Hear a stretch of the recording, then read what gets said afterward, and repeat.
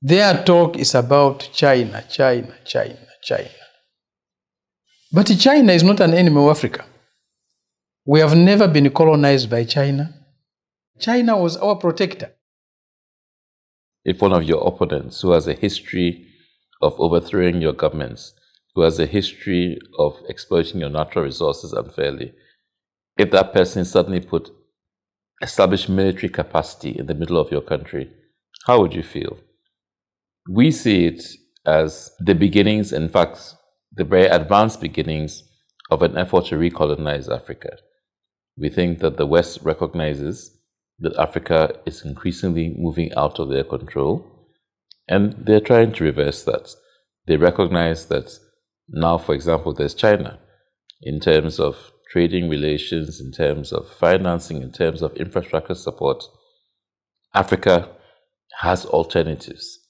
And I think they're worried about that. So we see the military intensification of militarization in two ways. One, fundamentally suppress our own people.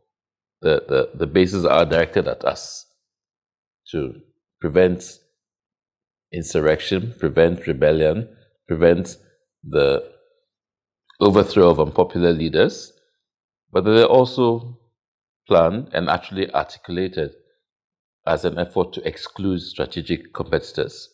Well, the Americans have not hidden the reasons for those bases. They have made it very clear is to protect American interests in Africa. What are the American interests in Africa? The American interest in Africa is not to protect the African people. That's not an American interest. One discernible American interest in Africa is minerals. To protect their access to strategic minerals. Today, DRC holds about 70% of the world's cobalt deposits. Zambia, which is a neighbor to DRC, also has got huge deposits. Niger holds 70% of the world's uranium deposits. DRC has uranium, Zambia has uranium, Namibia has uranium. These are strategic minerals. These are what the Americans are protecting. Protecting from who? From us, the Africans, the owners of these minerals? Certainly not. They are trying to protect, to monopolize these minerals, these strategic minerals. Protect, keep away primarily China. Their talk is about China, China, China, China. But China is not an enemy of Africa. We have never been colonized by China. There's no single African country that was a, a colony of China.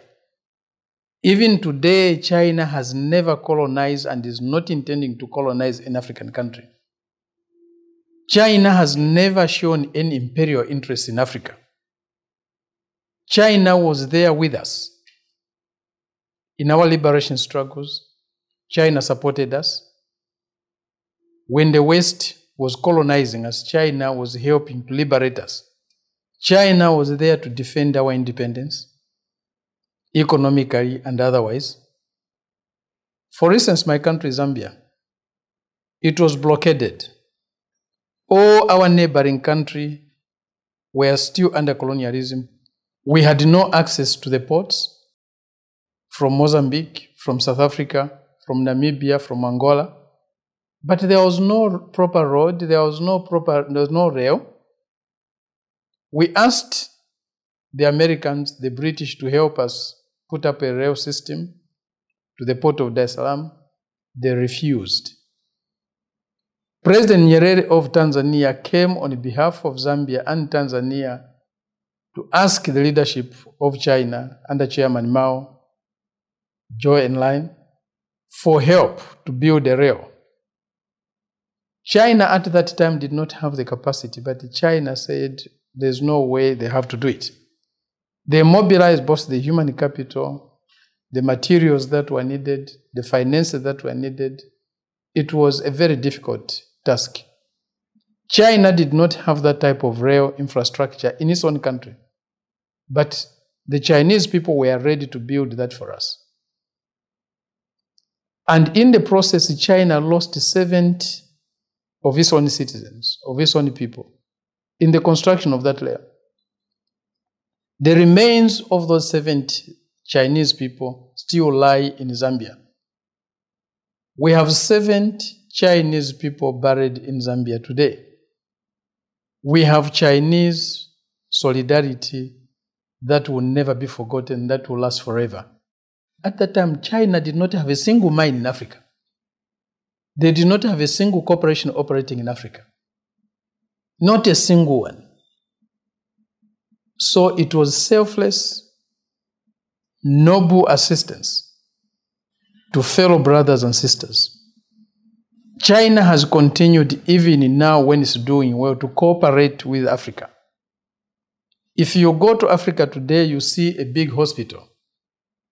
99.99% probabilities that it has been built by China.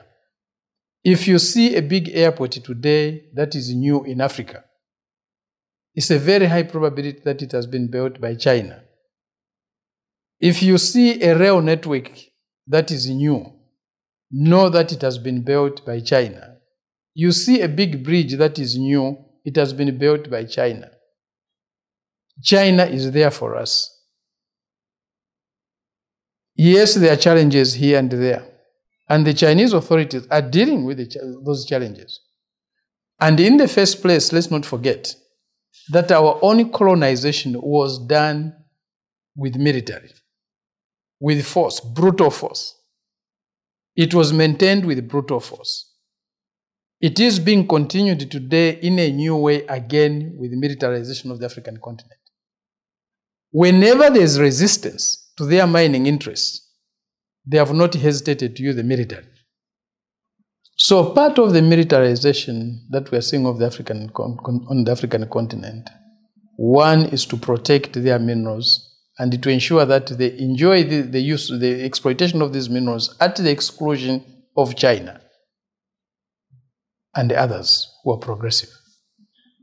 You know, I, I think that the story of the Tanzania Zambian Railway is a very, very important one. I, I always get excited when I hear you, you, you talking about this because there's a way in which I think probably younger Chinese see that as just China's investment, China's support to Africa, in the way that they see China, Chinese companies active in Africa today, without the context that you provided, that at that point in time, many of those African countries, many African countries, had a higher GDP per capita than China did that it was a massive sacrifice on the part of China.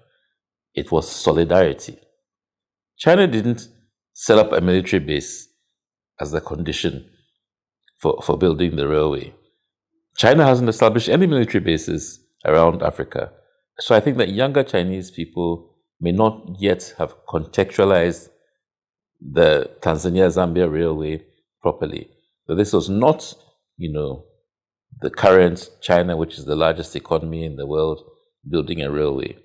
This was China in, in the, it was the 70s or early 60s. It's an entirely different proposition, it's an entirely different context. I mean, the contrast you see, for example, the, the militarization, if you look in the Sahel region, in Niger, the largest drone airbase in the world is in Niger. And you mentioned the the uranium mine in Niger. Now, that mine alone accounts for one third of France's electricity. It's one of the poorest places on earth. And they're sitting on one of the most valuable resources in the world. And next to it, you have this huge American drone base. So it is impossible for people in that area to rebel against the conditions. They're doing open pit uranium mining. The people in that area are poisoned for generations. There's a strategic resource there to protect it from Africans and also to exclude competitors like China and so on. So I, I really get excited when you tell that Tanzam story. It's uh, something people need to know. In life, it's always very important to be clear about things.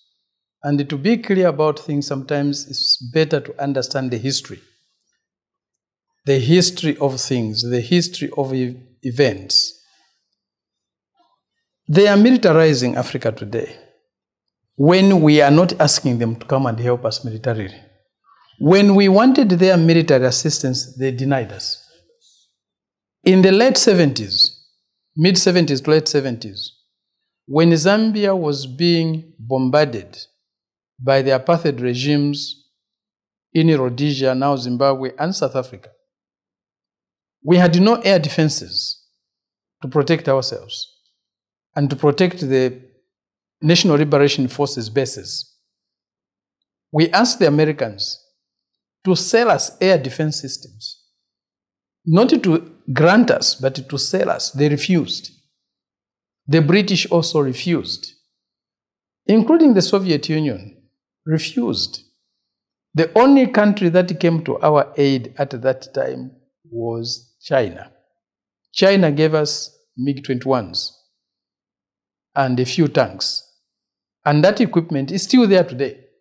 And China did not have much at that time, but they sacrificed an entire squadron of MiG 21s and gave us. And, and we, it's the same thing in Ghana. I mean, we weren't actually bombed and so on. But if you read the correspondence between the British colonial officers who then became foreign service officers you read the correspondence, the person in Ghana, the person in Kenya, the person in the Home Office in London. Now, if such a person comes back and says he's building a military base, you cannot possibly think that it is in your interest. Definitely, it's not our basis, it's their basis. And they are honest about it. And to exclude strategic competitors. Yes. yes. Because they are not protecting us from China. China was our protector. Yeah. It's not only on the, on the military front that they want to counter China. When China started the Belt and Road Initiative and infrastructure projects were started in Africa, roads, rail, and so on, they decided in their own words to counter China's infrastructure programs by setting up their own. That's the Europeans and the Americans. They have come up with a, a program of $600 billion over a period of five years to build infrastructure in Africa to counter China's influence. So there is nothing noble about what they wanted to do in Africa. There is nothing about Africa that they want to do in Africa. It's purely in their own interests, selfish interests. But we know that projects like that, that are not based on noble and selfless sentiments, are worthless.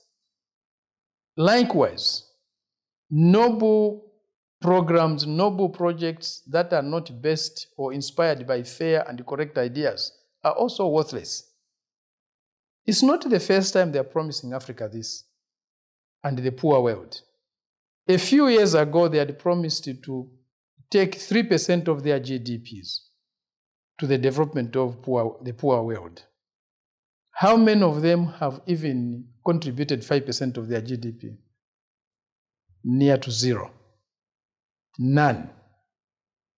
So we'll be very happy if this 600 billion they have promised for Africa infrastructure and investment actually materializes.